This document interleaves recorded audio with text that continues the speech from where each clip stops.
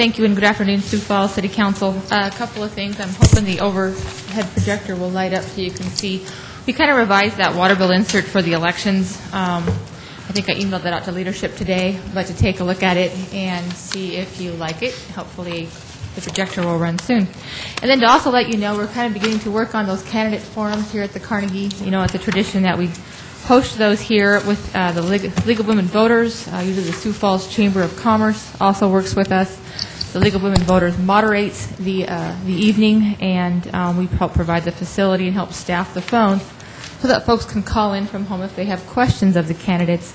Those dates tentatively right now are March 22nd, 23rd, and 24th.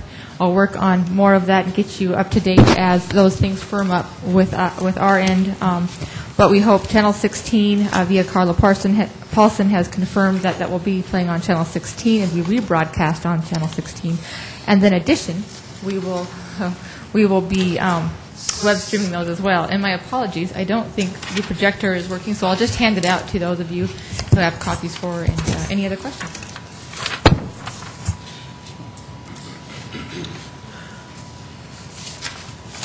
Was that your only topic, Deborah? Okay. Move on. Is there anyone here from uh, Mayor Munson's office to speak today? Seeing none. Uh, Audit Committee, no report. Fiscal Committee? Uh, We met last week for a little while. Uh, We had an update from uh, the uh, staff about record retention, and it appears that we're on schedule to make that decision uh, as far as the software issue goes. Uh, It, all 13 departments have been involved, which is good, and uh, I think Kenny Anderson is uh, representing the council in those discussions, so. Any other comments, Kenny, or? No, at this time, we've uh, taken presentations from several companies, and uh, that process still continues, and also uh, getting the needs of each department all put together also.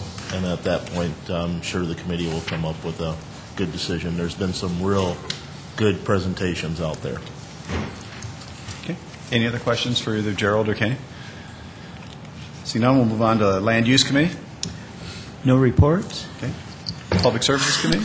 We're meeting following this meeting, and we will be discussing vehicles for hire, a review of that, as we discussed last week, and then uh, garbage and recycling ordinance discussion. Okay. Any uh, questions for Councilor Brown?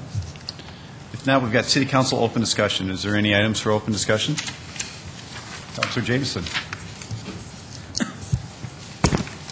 I saw Mark Cotter in the house, but I just wanted to ask if uh, maybe some of the other counselors have driven around Minnesota Avenue and 12th and 10th Street and just noticed the abundance of potholes and cracks in the road and all the, as rough as the roads are.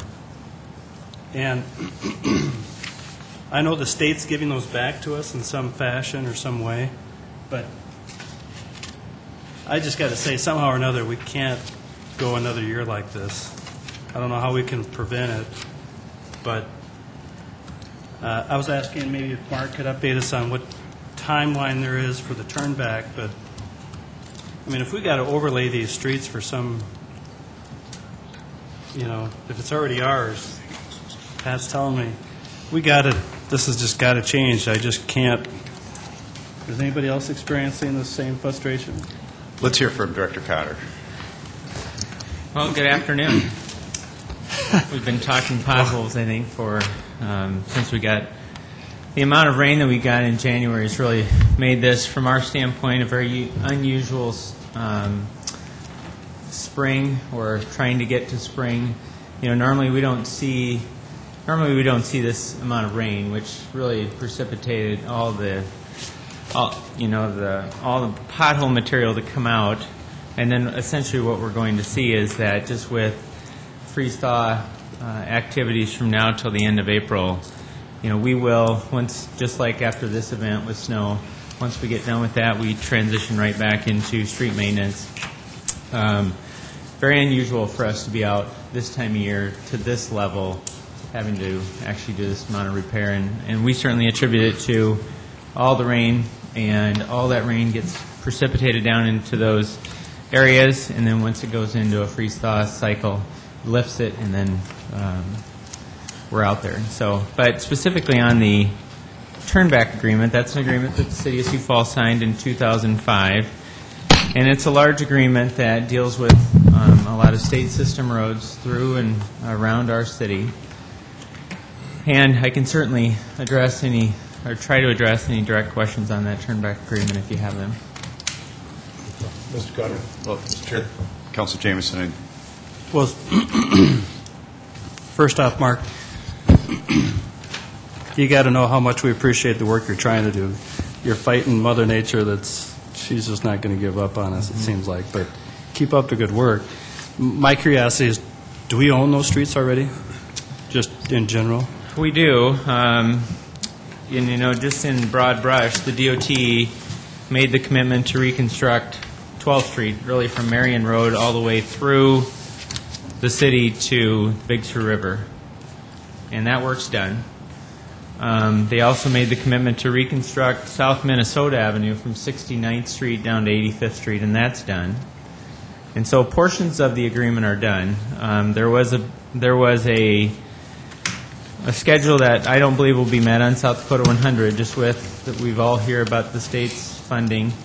Um, But they have started South Dakota 100, and they, then there's going to be another mile. The city's portion of South Dakota 100 will be bid in about two months. That's from 12th Street up to Madison. So there'll be another mile built this year. The next mile and a half of South Dakota 100 will come in 2012. So it's progressive, but I think we, um, we'd like it to be at a higher rate, obviously, just with the expanding traffic needs that we've got. They also identified $25 million that we could invest into Russell Street, West, North Cliff Avenue, and 60th Street North. And we've started design um, on West, and this was just actually ironed out last year. We're going to start design on all those streets, and then we're essentially going to um, develop good phasing structures, but we expect West would be first. Um, and so, and a part of that turnback agreement was also that the city of Sioux Falls, at the time we signed the agreement, Minnesota Avenue is in relatively good shape. I mean, the from 57th Street up to about 18th Street was reconstructed, and as you drive that today, that's actually in pretty good shape. I mean, it's in horrific shape from 18th up to 8th, and then as we go north of there, um, it's really uh, it's really gone downhill in the last five years. And so, but the 115 that was a part of the turnback um, was all of Minnesota Avenue up to Benson Road, and then north out of town on Cliff Avenue.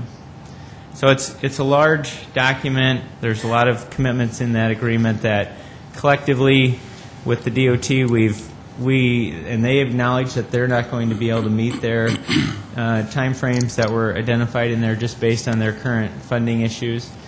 But we also recognize that we've got Minnesota Avenue that, with the amount of rain and just the amount of traffic that we have on Minnesota Avenue, that we've got to do something. And so that's on our that's in our plan. What we've identified to do is actually design that road. Um, we're going to design from 18th up to 8th, and then we are bidding an enormous amount of work between now and the end of March.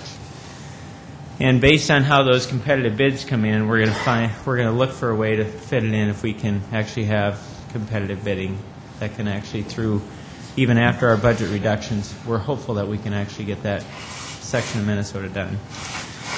Um, 10th and Cliff, if that's your commute every day, that's obviously very rough. Um, I think it's been shared in the paper that every time we go out to patch that intersection, we'll put anywhere from six to eight tons of material.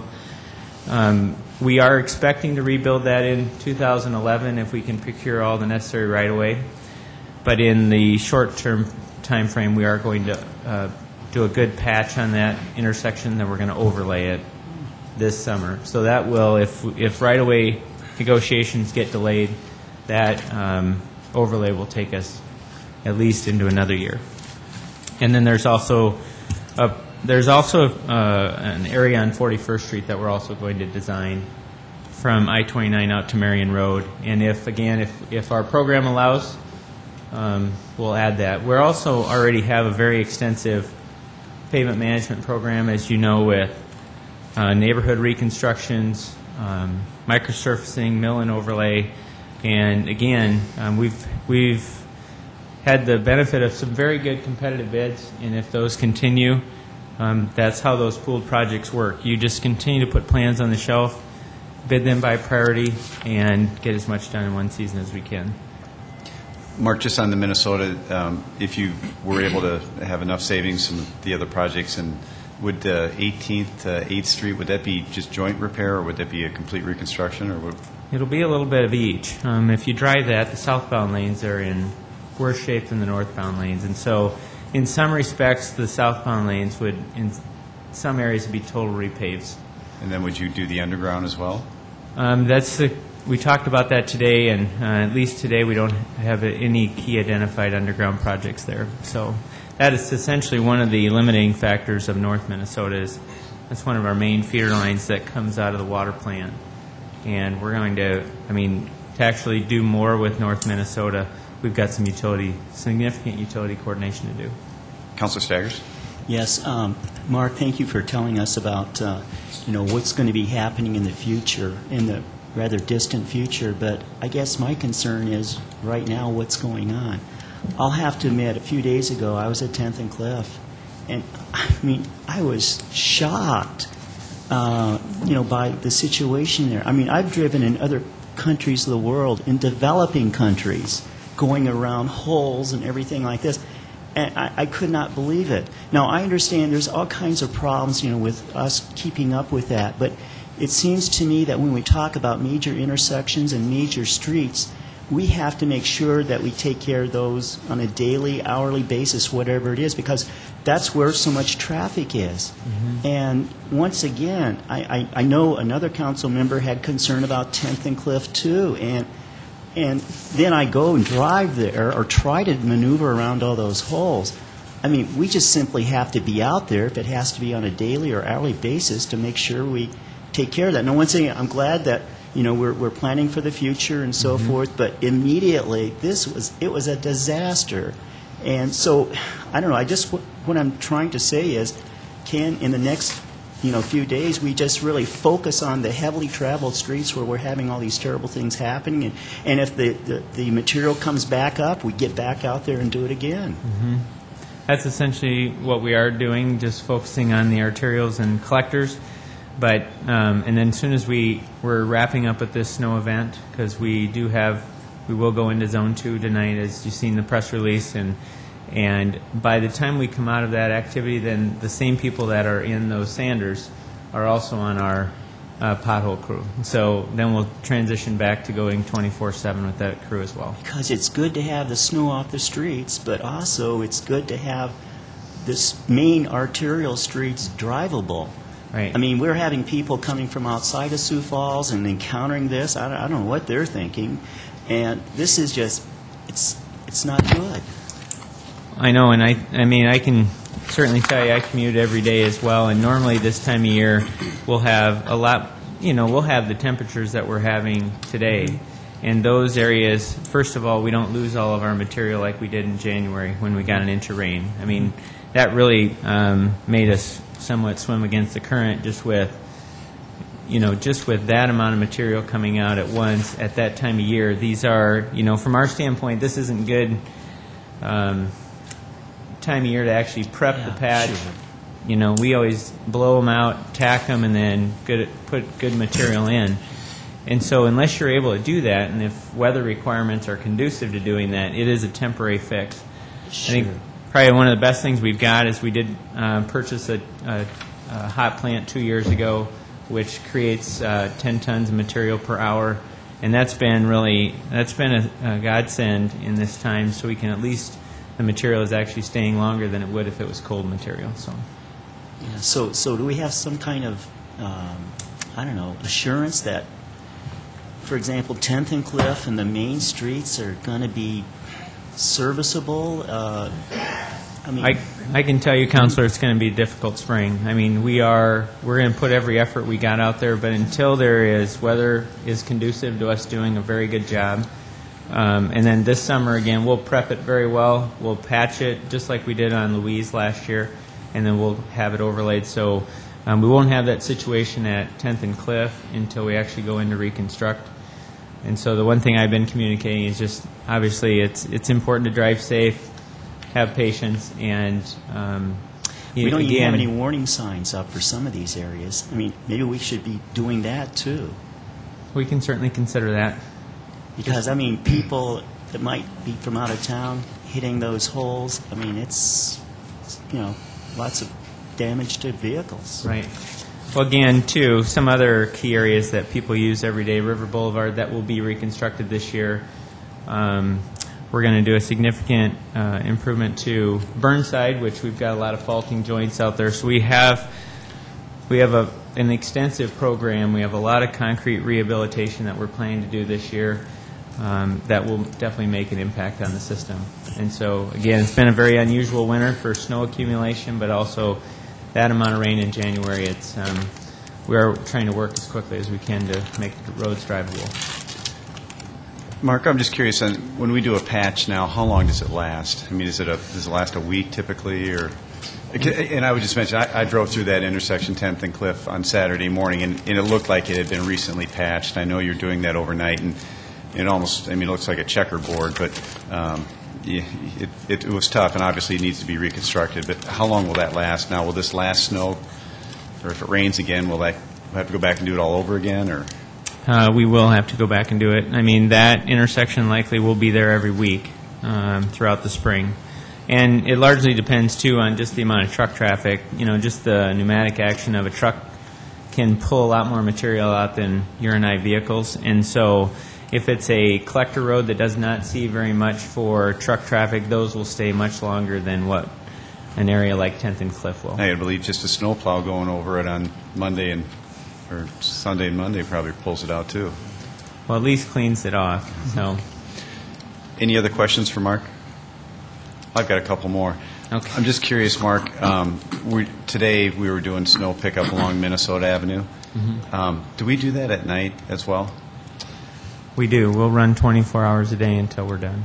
Then why don't we do Minnesota and 41st Street at night? Because it had traffic backed up again. I know we've talked about this in the past, and I, I just, I don't understand why we pick the afternoons during the week to do it on Minnesota and 41st Street. Well, 41st Street's absolutely at night. Okay. Um, Minnesota Avenue, when I was out just after lunch, we were north of A Street, and there are areas that's more conducive to doing it during the day. Um, you know, one benefit of this snow, there's not much snow in the windrow, and so people can actually cross this one. But we are definitely conscious, definitely of 41st Street, that there's so much commercial traffic, there's so many driveway approaches, people need you know, it's tough for people to actually be out there, and it's a safety issue um, for both sides. And so 41st Street is a 10 p.m. to 6 a.m. approach. I, I would encourage you to consider making Minnesota that way as well. But Okay, very good. Any other questions? Okay, we'll move on. Any other city council open discussion? If not, we've got two presentations today. Uh, The first one is uh, 2009 2009 International Fire Code by Perry Bolden, Fire Marshal. Welcome, Perry. Good evening, Council. Perry Bolden, Fire Marshal, City of Sioux Falls. Uh, Ron and I are here tonight, uh, myself, obviously, on the International Fire Code, uh, just as an informational uh, session. You should have in front of you a document that is basically a synopsis of major changes uh, and considerations in the fire code. The the attached ordinances, they propose to adopt the 2009 International Code. This code is promulgated by the International Code Council on a triennial basis. Every three years, its uh, uh, proposed changes are looked at, evaluated, uh, either thrown out or voted in. And the intent uh, for the fire code is to address fire prevention, fire protection, life safety, and safe storage and use of hazardous uh, materials in new and existing buildings. Uh, it is a major companion document to the other I codes, those being the International Building Code, uh, Mechanical Code, and the others that are part of the series. Uh, In essence, it is, with the exception of the fire protection requirements, it is a maintenance uh, code. In other words, the building code drives construction, new construction, uh, remodels. The fire code is once something is constructed, other than the fire protection aspects, uh, it's more of a maintenance code, kind of an after, after the, the fact uh, means of going out and providing rules and regulations for uh, maintenance of required installations. Notable changes, and I'll, I'll try to make this quick and brief, and then open it up for any questions. Notable changes from the 2006, which we're currently under, to the 2009 uh, International Fire Code.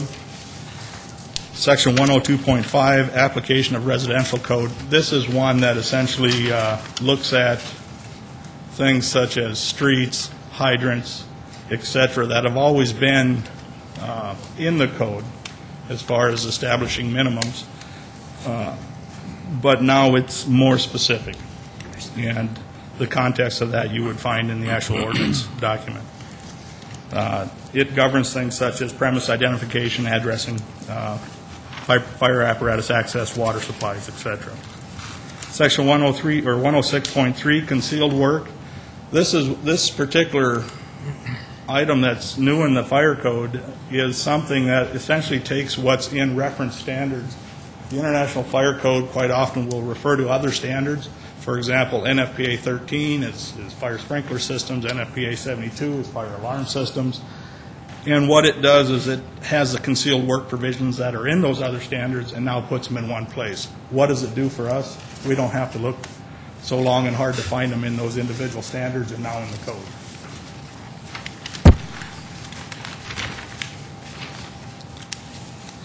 Section 112.1, that's, uh, provides the authority to disconnect service utilities. Uh, This would be, for example, at an emergency scene. This has been in code, but in a different format. Uh, It's actually been an ordinance for a number of years, but now it's actually in the body, body of the code. So, for example, if we needed to have power disconnected, gas shut off, et cetera, you know, this provides the authority to do that.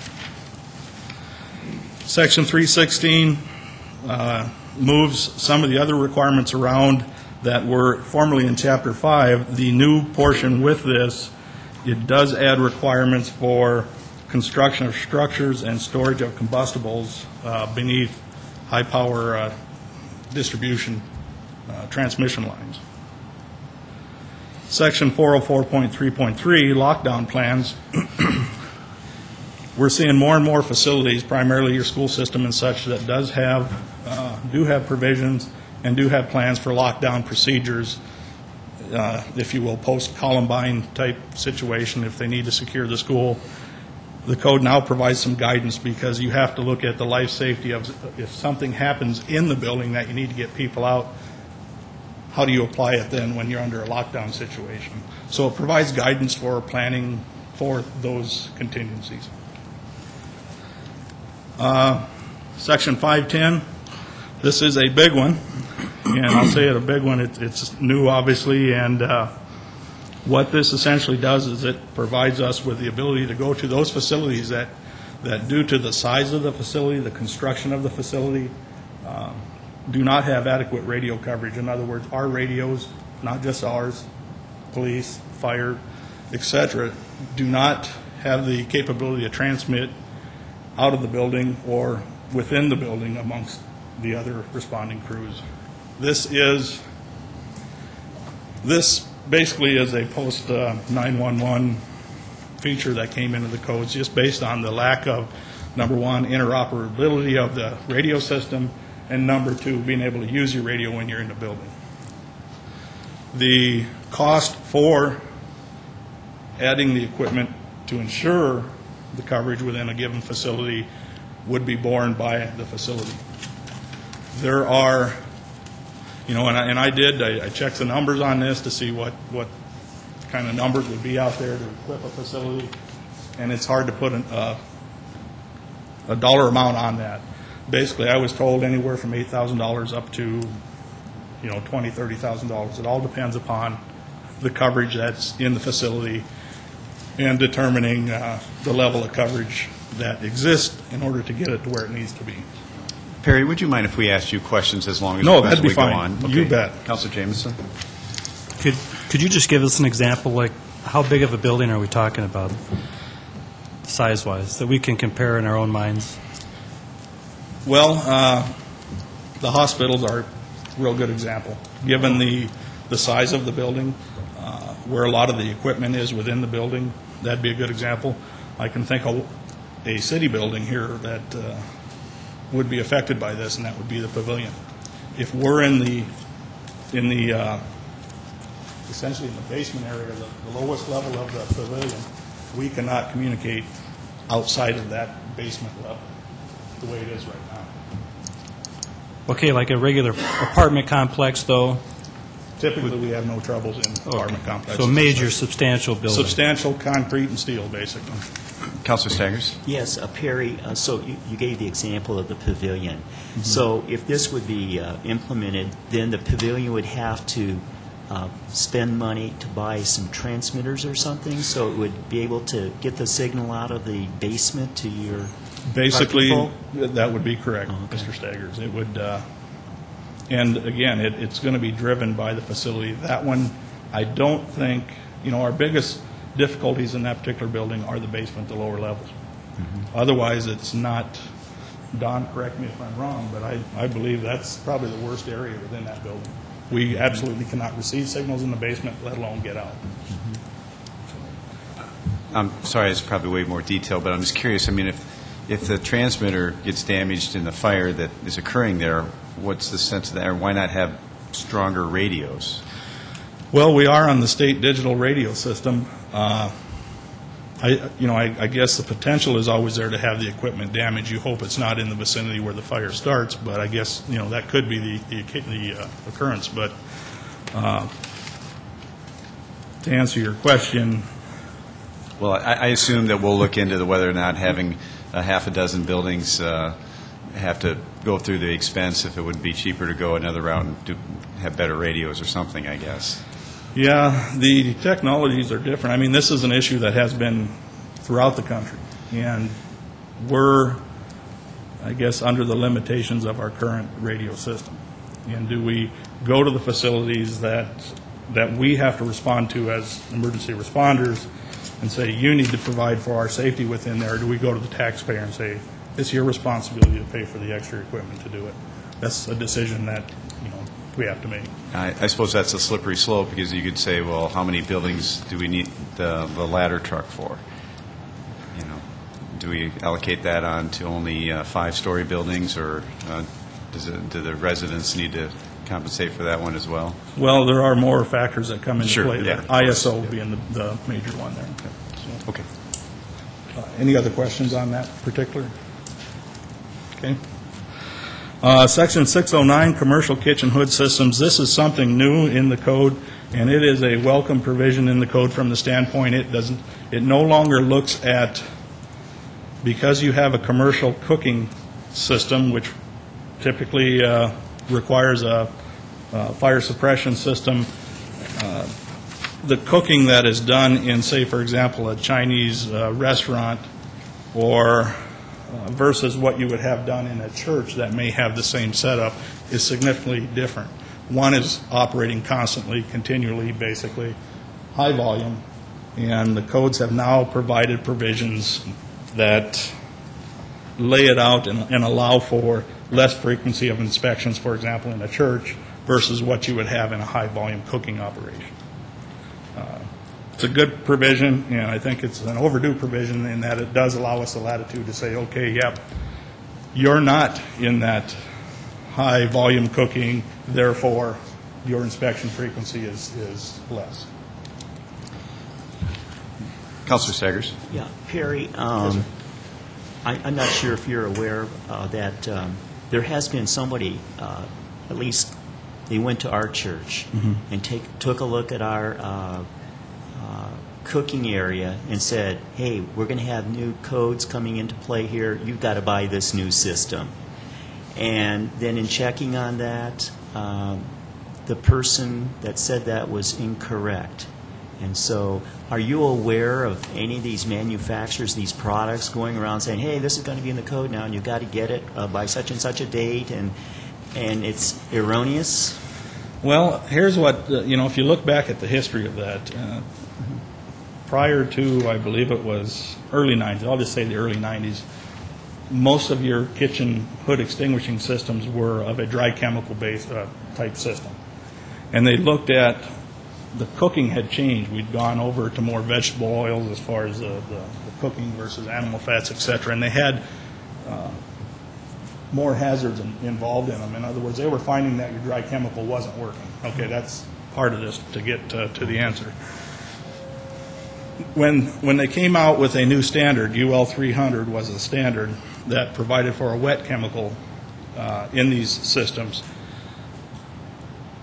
They gave a certain window to implement that. And what we did as a fire department was go to facilities such as churches that, that we knew did not, uh, you know, do the production of grease-laden vapors like, you know, a 24/7 uh, restaurant would. And we approached them and said, well, just write us a letter that says, that essentially states uh, the type of cooking you do, the frequency of it, acknowledge the fact that you don't do cooking that produces grease-laden vapors, and we will accept it. So we didn't force them into a UL 300 system. Well, what happens from there, you, you still have the existing equipment is required to be serviced, but once it gets to a certain point, uh, for example, the cylinders, the pressurized cylinders, at a certain point, they're no longer uh, testable, if you will, and they have to be replaced, and I think that's probably what you were dealing with. Now, the difficulty there is, if the mechanical code, the building code states that you have to have a type 1 hood system, it requires a suppression system, and, and that's basically where it's at. Our understanding is, is that we don't have to do anything, our church. uh, That is- may certainly be the case. So, but I, I guess I was a little concerned that maybe, you know, a salesman is going around and maybe giving some erroneous information to different organizations to sell product and, Well, I, I really don't think that uh, the information is erroneous as much as it is that, that I think what they're trying to convey is the equipment that you have, we can no longer service, therefore we have to hang a non-compliant tag on it. The inspectors may come out and say, now you're going to have to do something. So they're trying to be proactive in getting the sale, if you will, upfront. Any other questions on that? Uh, Sprinkler protection, Group E occupancies, Section 90323. What this did was lower the threshold it, uh, for sprinkler system within an educational occupancy uh, from 20,000 square feet to 12,000. Anything greater than 12,000 square feet would be required to be sprinkled.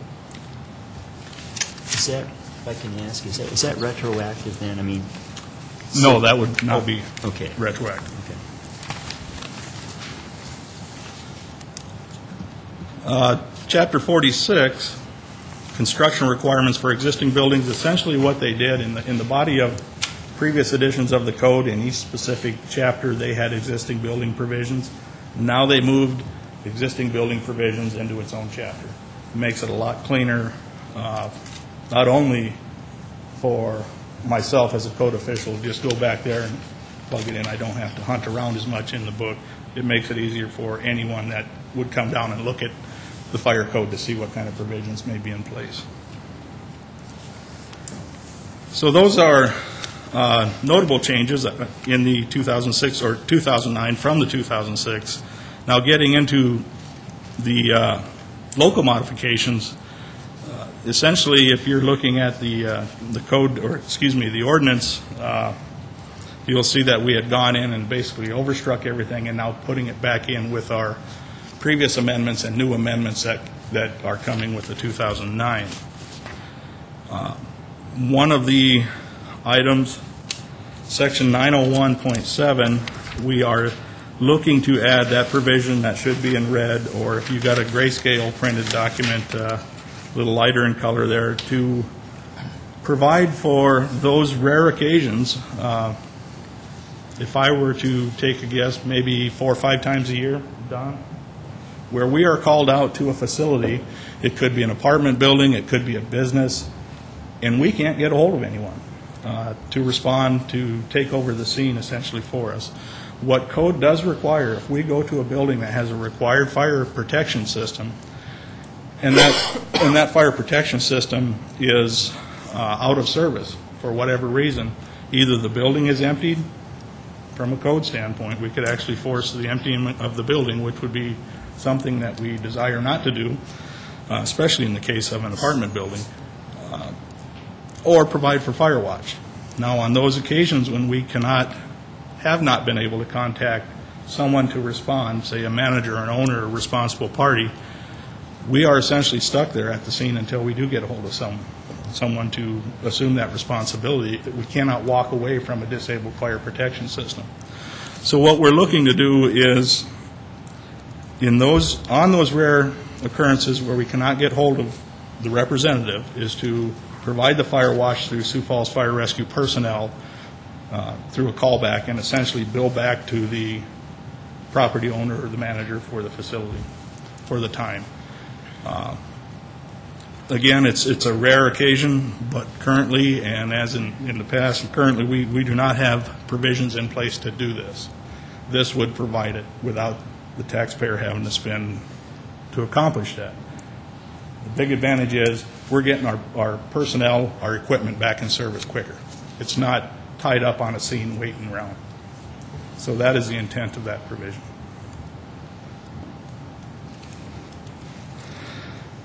Okay, 902. This was a change in definitions. Ron and I worked on this. Uh, Essentially, takes something that is new into the code and strikes that, and that is where they're including things like canopies and such, additions to the building that would be figured in a fire area. And essentially, if if you had a building and you- that's non-sprinkled, you added a canopy, if we left this provision untouched, if that canopy addition put you over the fire area allowance, you would be retrofitting your building for the sprinkler. This takes that out.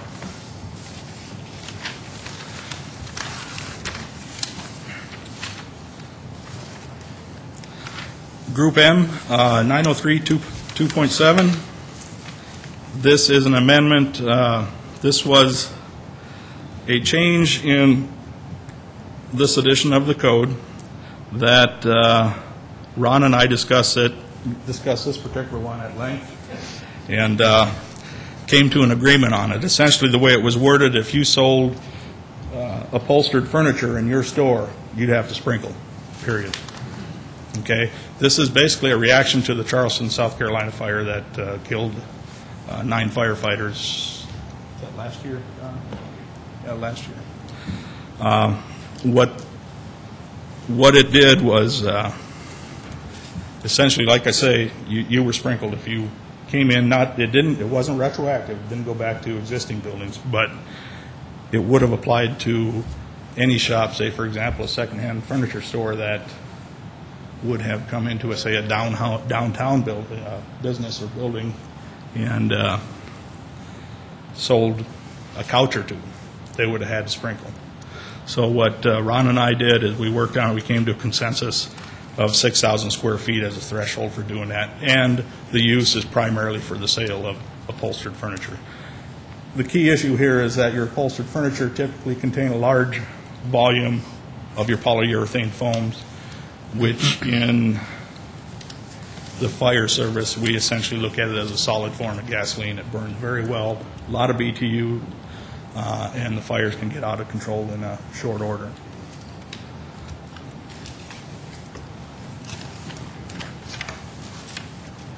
Barry, uh, Yes, sir. what is Group M? Can you give us? Mer- Mercantile. Mercantile, Yeah, okay. sorry about that. Group M would be mercantile. 903.2.8, uh, automatic sprinkler system installed in accordance with another section. Uh, And essentially, what this does is maintains a local amendment we've had in place for a number of years. And we did go to the Land Use Committee with this, and uh, looking to go with what the model codes have in there, and the Land Use Committee recommended do not pass for this particular one. So uh, we're essentially sticking with what we had in the prior editions of code.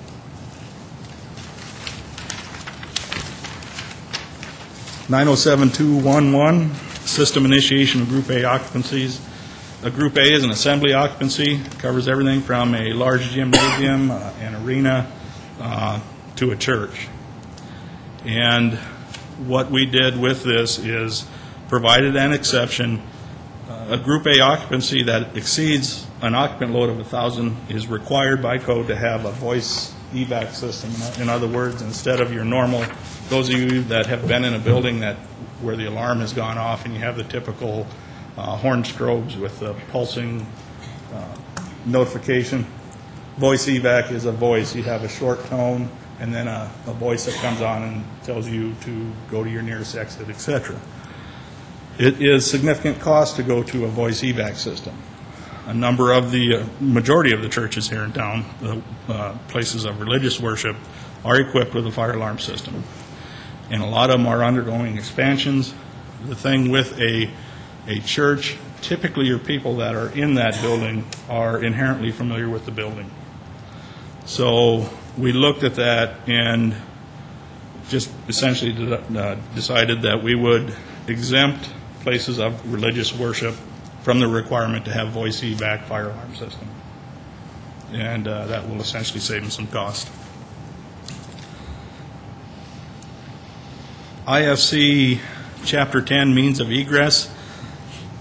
As you look at this, there's really not much underneath here. I did not include all of the Chapter 10 changes. Uh, Essentially, what we've, what we've had for many years, there are provisions or chapters in the fire code and the building code that are, with the exception of maybe one or two sections, they're identical. And Ron and I have worked hard for a number of years to make sure that those sections that are in the fire code and the building code, that when I make a change, he's got the same change, and vice versa. Historically, building services has governed Chapter 10. Now, again, getting back to what I stated earlier, we are the maintenance side of it. So we come out two years later, and if we did not amend this, we may, and this has happened, we've had requirements in the fire code uh, that didn't line up with the changes that were made in the building code. We want consistency. Consistency not only for our own benefit, but obviously for the benefit of those that we serve. So you don't have building services saying one thing and the fire side saying the other. That was the intent. Uh, Ron will have all of the Chapter 10 changes in his synopsis and in his ordinance. Well, we'll have them in the fire code ordinance also, but. The last item I have here is Section 2206.2. And essentially, Sioux Falls has had an amendment on the books for many, many years that requires double-walled underground storage tanks to be used with an exception that provided for where you could not, due to geographic, say, for example, if you are on, you know, you, your uh, rock table is, real close to the surface, you can't, can't do the digging there, or whatever the reason that you could not do an underground storage tank, uh, it would have to be documented that couldn't be done, basically an engineering analysis, and then we would consider above-ground storage tanks. Above-ground storage tanks are, from the fire code standpoint, not quite as safe as your underground, okay? With the exception that we have added here, and again, that's that item in, in red or in light gray on the uh, grayscale printed one. What we're looking to do is where that has not been, where that engineering analysis has found that underground storage is not feasible, we'll accept an above-ground storage tank that storage tank would have to meet UL 2085 for construction requirements. What is UL 2085? It's basically a reinforced tank that is uh, ballistic-proof, fire-proof, has all the bells and whistles for leak detection, uh, all the piping and everything is, is, uh, it's a nice system. It is, to go above ground with a tank like this, it would be less expensive for a facility, just given the fact that you don't have to do the excavation and all the uh, site work for the underground tank. And we're still getting the benefit of having basically a, a very, very stout tank that's uh, not easily going to be penetrated or ruptured and provide any kind of environmental contamination. With that, that's all I have. Uh, Any questions? Councilor Staggers? Yeah, Perry, uh, with all these new regulations, um, any estimates on the costs For, for implementing these new regulations, the costs for private businesses and things like that? Well, there's been a lot of give and take over the years in the codes. I mean, a lot of uh, credit for sprinkler systems, for example, and uh, to actually put a number on that would be difficult for me, Mr. Staggers. We do consider that when we're looking at this, but we also have to consider public safety and uh, those that respond, safety of the responders. Counselor Beninga? Perry, I'm wondering, uh, when you do your annual certification, or it's not annual, it's uh, a process that we go through every few years to, excuse me, to be able to uh, receive the best uh, insurance rating for the commercial buildings that we have, do they take a look at the uh, regulations that have been proposed and compare those to national standards to get that certification? I know the ISO group that you refer to all the time talks about meeting specific minimum standards. Is this part of that minimum? This would be, your uh, adopted codes are part of the minimum standards that are looked at amongst many other things, yes. So basically, by approving these, we're getting the best possible rate for insurance purposes in the community. In my opinion, yes. Okay. Perry, I'm just curious on the um, 907 dash, or point two, point one, point one, the system Group A, the occupancy, when you get over the 1,000. Yes. I mean, the voice alarm versus uh, the regular alarm that we've always heard, I mean, is, what, uh, people don't understand what's going on when the alarm's going? I mean, what, why, what, how- is it proven to be more effective, or what? It has proven to be more effective in those uh, venues that people are not as inherently familiar with, you know, the the typical human nature is to go, go out of a building the same way they go in, okay? Where you have people that aren't familiar with that building that they're in, that's certainly going to apply, but the voice evac, they have found, studies have shown that it's a little more calming, provides a little bit more direction. Now conversely with that, we have found situations, and I'll go back to uh, Jim Daniels, uh, retired fire marshal, retired a number of years ago, was sitting in a, uh, a- basically a basketball game at one of the schools in a packed gymnasium, and uh, it had voice evac, and you couldn't hear it at all. So we really have to look at the voice evac requirements. And in, in that case, we did modifications to code and allowed them to do regular horn strobes. Have you all had the, the pleasure of hearing your horn strobes in here go off? And- Yeah. Uh, Essentially designed to drive you right out of a building. Uh, uh, They, they certainly work, but uh, we looked at, as I stated, a typical church, typical place of, of worship. The majority of people in there are familiar with their surroundings, and this, instead of forcing that extra cost, and that cost typically is anywhere from ten to fifteen thousand dollars for the voice evac package, if that does not, if it is compatible with the existing fire alarm system they have. If it's not, then it could be considerably more money, because it's uh, wiring and everything that's involved. Does, does the voice part of it, does it say, you know, please exit the north, or is it give direction, or is it just say, get out of the building, or? It says go to your nearest exit and evacuate. It does not, per area, state what that nearest exit would be. It's one recorded voice message. Okay. Followed with a series of notification alerts, basically. Any other questions for Perry?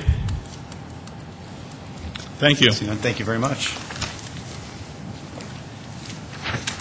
The next presentation is the 2009 International Building Code, uh, existing building code, residential code, mechanical and fuel gas code, property maintenance code by Ron Bell, Chief Building Services Officer.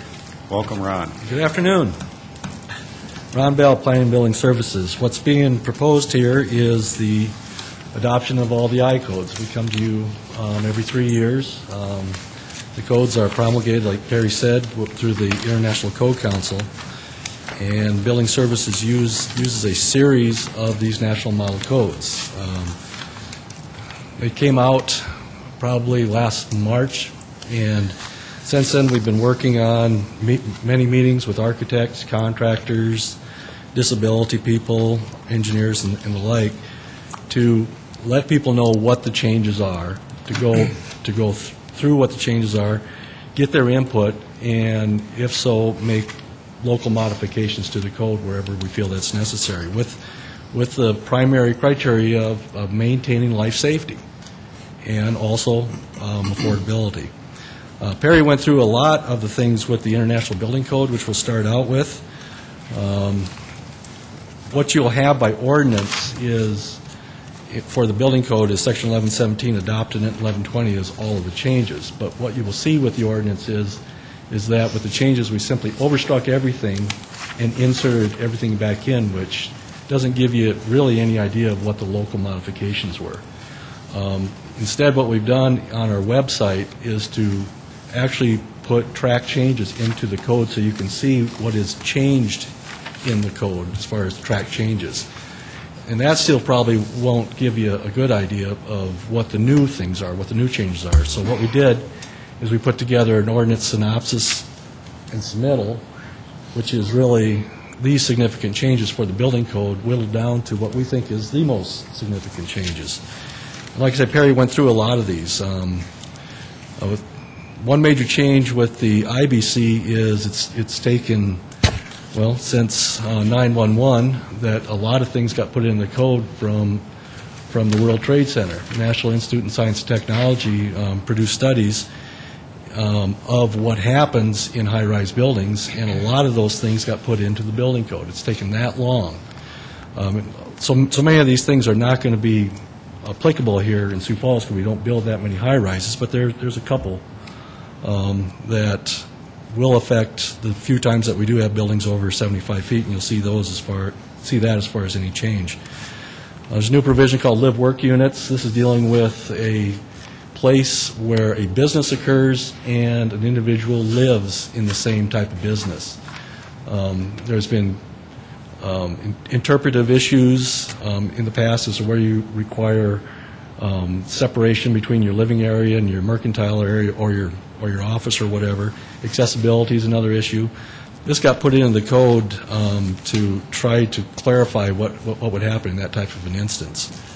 Um, Ambulatory healthcare facilities was another change, um, because where you have same-day surgery, all that they were having to meet is provisions for an office occupancy, nowhere close to a hospital, so provisions got put in to get a same-day surgery to be, to have certain requirements that more nearly resemble a hospital situation where you have people that are incapable of self-preservation. Uh, Perry mentioned the reduction in sprinklers from 20,000 square foot to 12,000 square foot in schools, as far as the threshold is concerned. Um, All the schools, all the public schools here in town are already sprinkled, so we didn't feel that that was a major issue. On on page nine, you will also see modifications that the codes update from an engineering standpoint. Um, Standards are updated with regard to um, uh, engineering design for wind loads. The most recent American Concrete Institute Standard 318 is, is is adopted and put into this code. Same with masonry structures and wood structures, so that's another criteria. What you'll also see on this is the next portion that deals with what we did here locally that was not in the codes from before. Um, uh, You mentioned the, the hold, hold opens? Okay. Um, 71548, door closing devices. Uh, The fire department um, makes inspections of e- existing um, both apartments, hotels, motels, and one of the issues that Perry kept coming to us on was that the doors, especially the doors that are serving the vertical stair enclosures, are chucked open.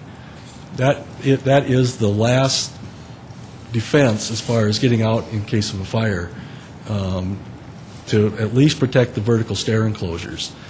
And what was proposed here is, this is only in new construction, not retroactively, but to, to require that where you have a vertical stair enclosure, to have an automatic opening, uh, automatic closing device that's tied into the fire alarm. So that door can remain open as much as any building owner or any tenant would want, but it'll close when it's required to be closed, and that's when the fire alarm goes off, to protect that exit way.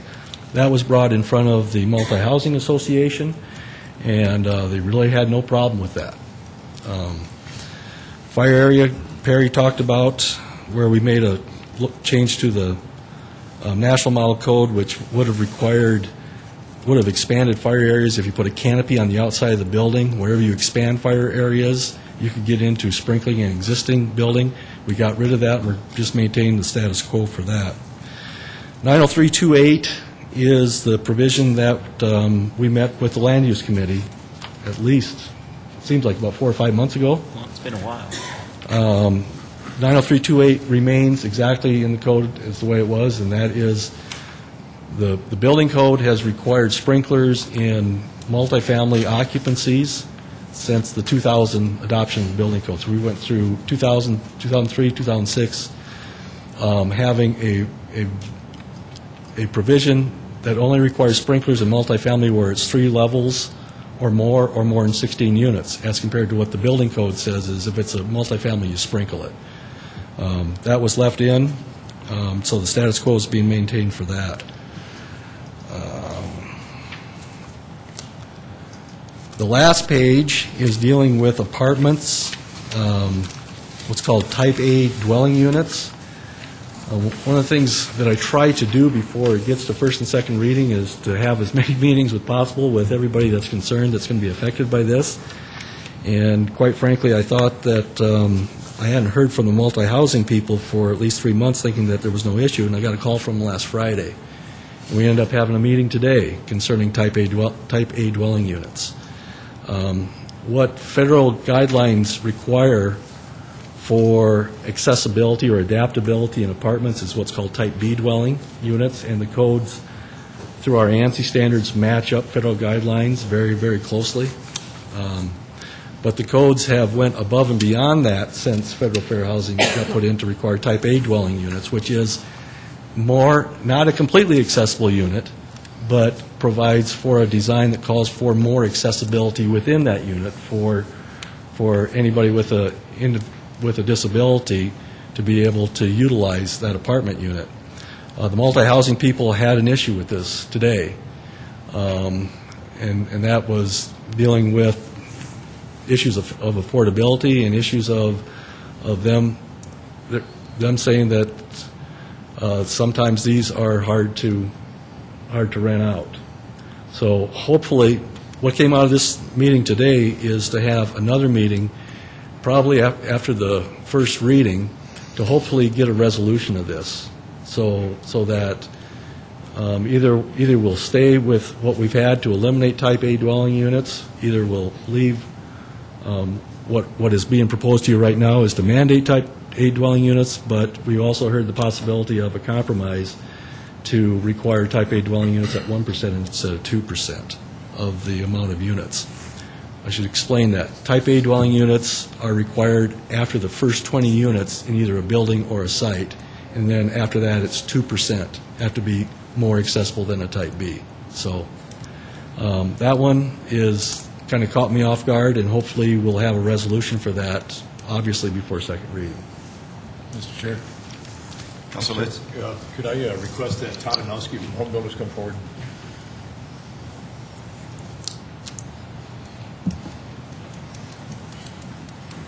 Thanks for coming down today, Todd. It's uh, good to see you. Say, Todd, uh, you know, I- I'm aware that the Home Builders Association spends a lot of time with the city of Sioux Falls, uh, puts their credibility on the line studying these code issues.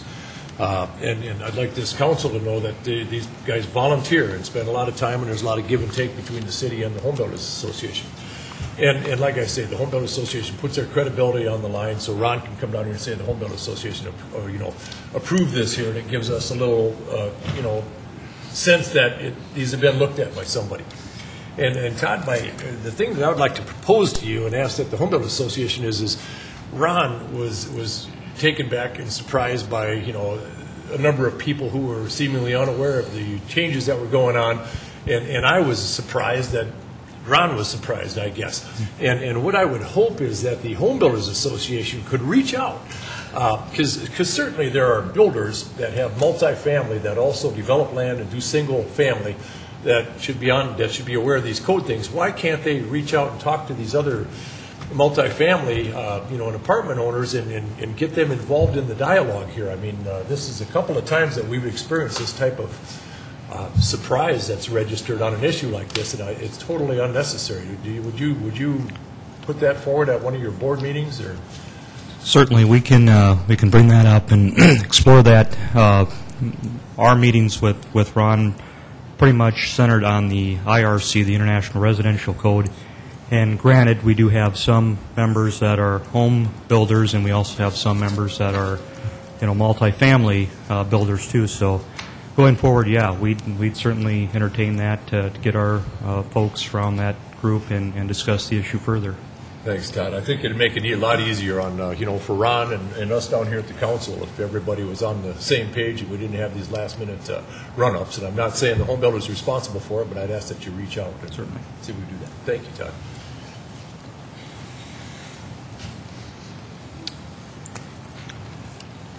Council Staggers? Yeah, I guess in, in terms of reaching out, I I guess I'm, I'm glad that uh, Ron and Perry came here today to talk to the, the complete council about these various code changes. But also at the same time, I'm wondering why we didn't have this go to committee too, so that we could have further opportunity for people to come and speak about, uh, you know, pro and con about this.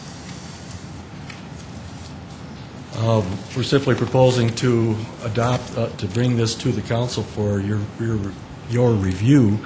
Uh, There is an extraordinary amount of criteria in these codes, and I just don't know how much that the council wants to go through every code item that's in here. So we're hoping that by convincing to the council that we have met with those people that are affected by the codes and have got their inputs and have put in local amendments, that that would be sufficient enough information for the council to adopt the codes. I guess what I'm thinking of is, for example, not everybody belongs to the multi-housing association. And maybe there are some people that, uh, you know, who have property that don't belong to that association would, would like to come and speak before a council committee. I don't, I don't control going to the committees, so. Yeah, no, I'm just, I'm just wondering if, uh, uh, I mean, this is, this is not just with this particular issue, but also on other issues too about, you know, sometimes the committees are not being utilized. And this is really important too. I mean, uh, super important uh, ordinance dealing with these various codes. I- I'm just curious, uh, Councilor Stagger, uh, Ron, we do these how often? Three years. Every three years? And Council Staggers, you've been on the council longer than I have. Have they previously gone through committees? Well, that's the concern. They haven't. And so, you know, sometimes, you know, we like to just maybe do things the way that we've done in the past, but maybe we should also start thinking about utilizing the committee system a lot more than we have. Because right now, you know, it's just haphazard. You know, some things go to committee, others do not. And so it would really be good uh, to come up with more of a, a formula as to what goes through to committee and what doesn't. And this year is so important.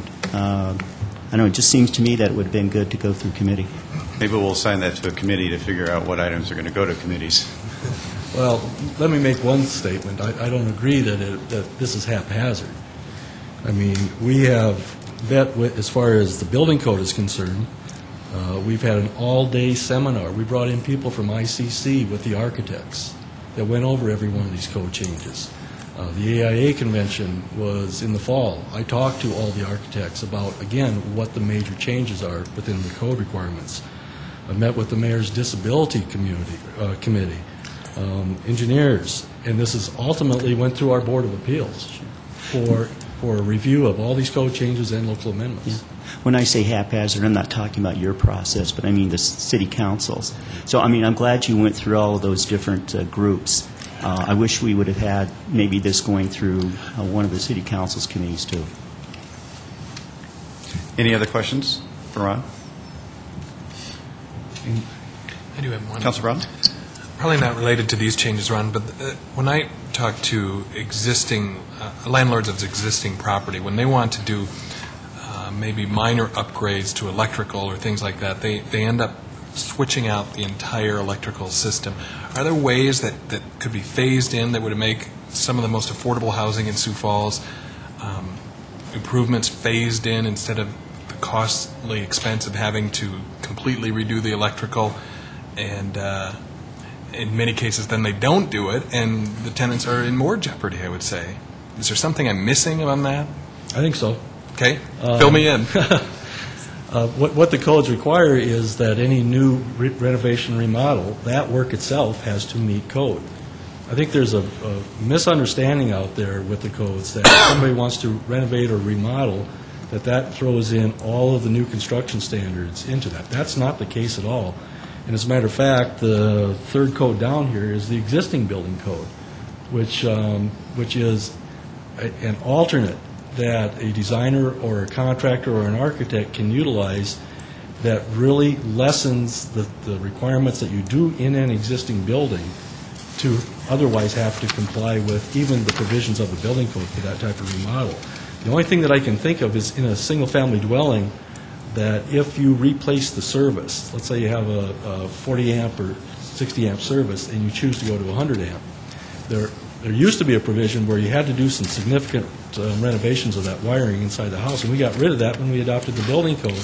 It only required certain things that you could get to, like GFI protection in the bathrooms. Um, there- um, There used to be a requirement for putting in um, outlets 12-foot around the room, which we got rid of. So really, it's, it's a misunderstanding that people that do renovations, they don't have to bring everything up to code. Typically, it's only the work that they do has to comply. Okay, thank you. Any other questions for Ron? Okay, thank you very much. Well, I I got some more. Oh, you do? I'll try to be fast and brief. Um, we- We've got a series of other codes, and that's the International Residential Code, uh, which is a home builder's code. I I think Todd and- and Bob was talking about the process that we go through. We've met with the Home Builders Association for five or six months and went through all of the changes. I think we got a very good um, working ordinance that deals with, with the changes that are in the code, dealing with affordability. A huge, huge change that happened with the IRC was the mandate of requiring sprinklers in one and two-family dwellings and townho- townhomes. Uh, We chose that we are not going to require that. As a matter of fact, there's pending state law that will take away the the municipalities and counties' ability to do that, which is unfortunate. But because we have, we have the ability to make that determination at the local level, but that's just my point of view, I guess. Um, The next one is the International Existing Building Code, which is what we were talking about with, with with an alternate. Um, There's, basically with that, we've, we've carried over most of the ordinances from the 2006. There was only one minor change that we had to do in that, and that was to make sure that our egress windows that, that were referenced in that was at the reduced area of egress windows that we have for local amendment. The next one is the International Mechanical Code and International Fuel Gas Code, which is the, the code for heating, ventilation, air conditioning contractors. I can tell you this, that the, um, this was handled through our Mechanical Board of Appeals for, again, a period of five months. Our mechanical staff went through every item practically that, that was a change, sought their input, and we ended up not having a whole lot of, of major changes on that, but you'll, you'll see what's changing the code and what the local ordinances are. The last one is the International Property Maintenance Code, which is our housing code. This deals with existing structures and maintaining just the minimums of minimum standards, um, dealing, dealing with life safety within existing um, primarily residential occupancies, but it goes into commercial also. One of the changes that we did in, in that, as far as a new change, is a provision where we do a notice of demolition. Um, The National Model Code requires a 24-month waiting period after the notice and order for us to proceed with a demolition criteria, if that is the only option that's left out there. Uh, We've had input um, that, that two years tends to be a long time period, and we're proposing to change that down to 18 months instead of a 24, instead of two years, so a year and a half. With that, any questions? No questions? Any other good news for us? Excuse me? Any other good news for us? That's enough. Okay, thank you very much. Is there any other uh, council open discussion? We had uh, planned to do an executive session, but we decided to uh, put that off till next week. So next week, plan on having an executive session for a personnel matter. If there's nothing else, we are adjourned.